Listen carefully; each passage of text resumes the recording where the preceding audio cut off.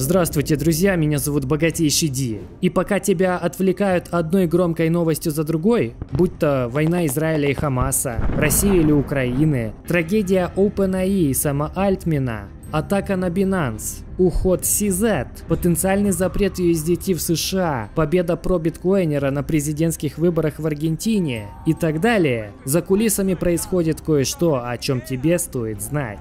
Одна большая новость следует за другой. Поневоле задаешься вопросом, а когда еще такое случалось? Ведь если вернуться к 2018-2019, мы бы услышали одну историю подобного масштаба один раз в год. Но в этом году это происходит каждую вторую неделю, если не чаще. Закономерно возникает вопрос, а не является ли это массовым отвлечением внимания? Не происходит ли за кулисами что-то гораздо, гораздо более значительное – что-то, что будет медленно реализовываться в нашу жизнь и в итоге полностью ее изменит. И более того, мы будем этому рады. Я думаю, что да, это происходит. В этом видео я расскажу тебе об этом. Я собираюсь поделиться с тобой тем, что я узнал о цифровой валюте Центрального банка, о некоторых из масштабных достижений на этом направлении и о том, как быстро все это происходит. Есть 130 стран, которые представляют 98% мирового ВВП. И сейчас они изучают или уже разрабатывают цифровую валюту Центрального банка. Подумай об этом, 98% мирового ВВП. И это только начало. Посмотри, что делает Центральный банк Нидерландов, что происходит в Аргентине, в Америке, Казахстане, Украине, России и других странах. После этого видео для тебя все станет предельно ясно, поэтому, пожалуйста, нажми кнопку «Мне нравится», поделись этим контентом, чтобы просветить больше людей о том,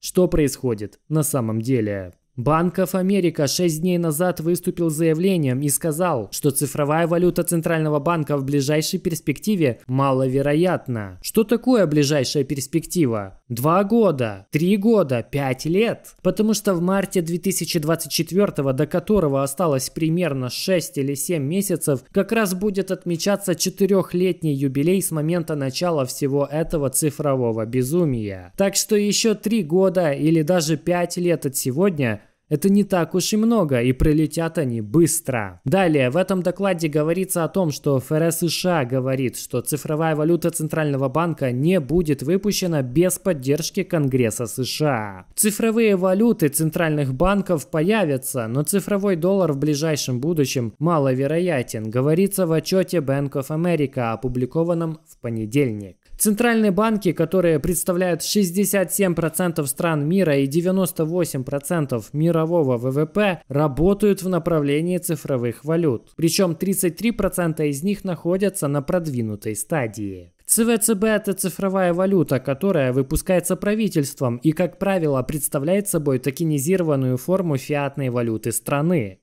ФРС США продолжает тестировать цифровую валюту, но не будет выпускать ее без поддержки исполнительной власти и Конгресса. Преимущества и риски ЦВЦБ зависят от дизайна и подхода к эмиссии. Здесь очень важно отметить слово «дизайн», потому что они могут спроектировать его так, что он будет делать все, что они захотят. Например, можно сократить потребление мяса с помощью ЦВЦБ. Можно сократить авиаперевозки. Можно сократить закупки бензина, сократить финансирование предприятий, которые производят большие выбросы углекислого газа и так далее. В дизайн ЦВЦБ могут интегрировать кучу различных инструментов и механизмов. Далее в отчете мы ожидаем, что ЦВЦБ обеспечит более эффективную и менее затратную платежную систему для трансграничных и внутренних платежей. ЦВЦБ станут инструментом реализации денежной и кредитной политики и повышения уровня финансовой доступности. А вот что говорит эта женщина, директор-распорядитель Международного валютного фонда. Она говорит, сейчас не время поворачивать поворачивать назад.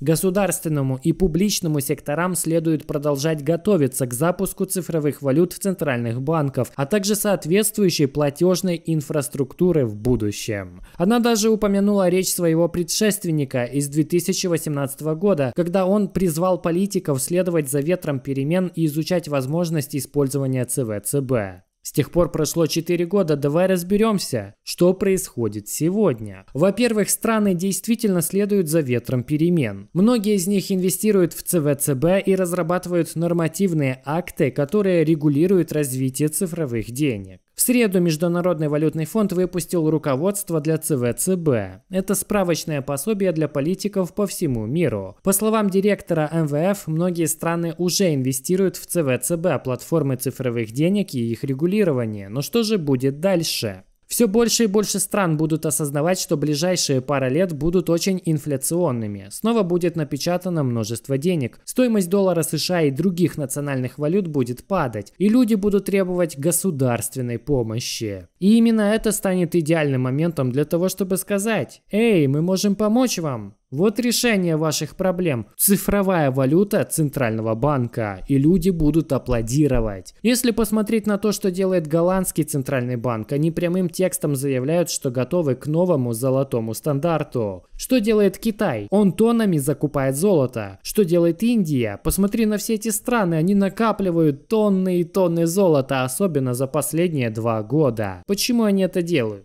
Центральный банк Нидерландов в недавнем интервью признал, что готов к новому золотому стандарту. Банк сообщил, что он сравнивает свои золотые резервы по отношению к ВВП с другими странами еврозоны и за пределами Европы. По мнению Центробанка, в случае финансового кризиса цена на золото взлетит до небес, а официальные золотые резервы могут быть использованы для поддержки нового международного золотого стандарта.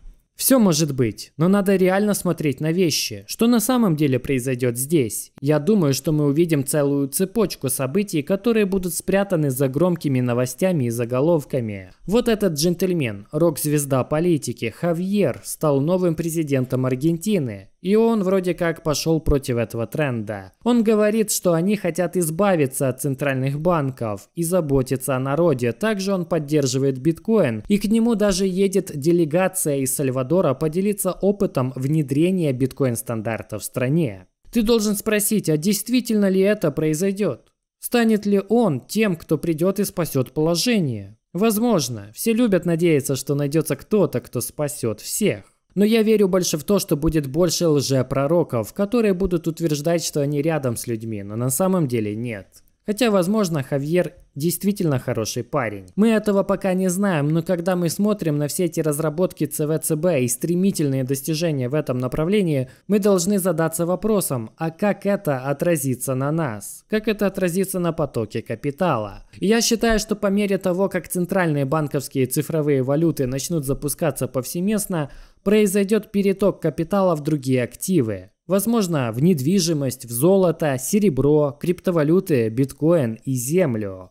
Короче говоря, будет много капитала, который перетекает из национальных валют в другие активы, в том числе из доллара США после запуска цифра доллара. Это просто безумие, как быстро все это происходит. Еще несколько лет назад это было конспирологическими теориями, а сегодня это реальность. Развитие цифровых валют центральных банков вступает в следующую фазу. Многие мировые монетарные власти ищут дополнительные рекомендации, и это стало известно вчера. Это написано в блоге МВФ. Цифровые валюты центральных банков могут улучшить платежные системы, а также финансовую доступность, если их правильно разработать. Опять же, ключевое слово «правильно разработать». В противном случае они могут представлять опасность. Хотя не все страны могут счесть целесообразным использование цифровой валюты Центрального банка, Многие из них все равно изучают возможности их создания, чтобы иметь возможность ввести их в будущем, когда это станет актуальным. Выгоды от этого со временем будут более или менее очевидны, в зависимости от политики, проводимой странами, реакции частного сектора, а также от развития технологий. В большинстве случаев странам было бы полезно продолжать тщательное изучение ЦВЦБ, отмечает директор-распорядитель МВФ в своем недавнем выступлении в Сингапуре. Багамские острова, Ямайка, Нигерия и добавлю сюда Казахстан уже ввели ЦВЦБ. Более чем в 100 странах цифровые валюты находятся на стадии изучения и разработки. Центральные банки Бразилии, Китая, Еврозоны, Индии и Великобритании находятся уже на следующих этапах разработки и приблизились вплотную к запуску не только цифровых валют, но и цифровых идентификаторов, которые будут вшиты в цифровой кошелек гражданина.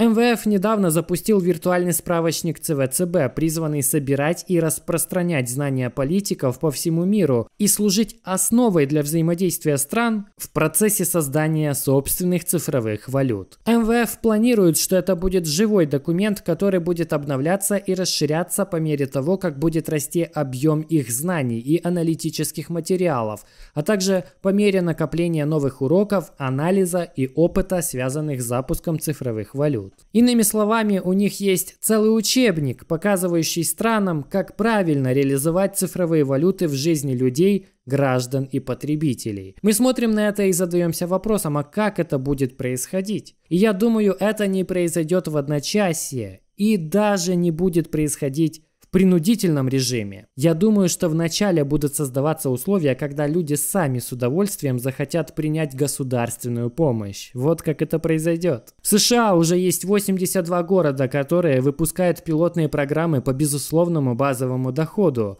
который будет связан с цифровой валютой. Интересно, что в 2021 году было всего 11 таких городов. А значит спрос растет и растет с каждым годом быстрее. По мере того, как этот спрос будет расти, цифровые валюты центральных банков будут, скорее всего, использоваться в качестве отличного решения всех проблем людей, из-за которых они страдают. И некоторые люди, я полагаю, будут в восторге от этого. Они будут считать, что это удивительное, потрясающее потрясающее преимущество и будут чувствовать себя вправе получить часть этих бесплатных денег в ЦВЦБ. Но в конце концов я считаю, что ничего не бывает бесплатным. Я думаю, что старая поговорка верна. Если что-то бесплатно, то товар – это ты. Именно это, как мне кажется, очень скоро произойдет. Сумасшедшие времена, правда. И 99% людей об этом даже не знает и не подозревает. Они заняты громкими заголовками в новостях. Меня зовут Богатейший Ди. Увидимся в новых видео. До скорого.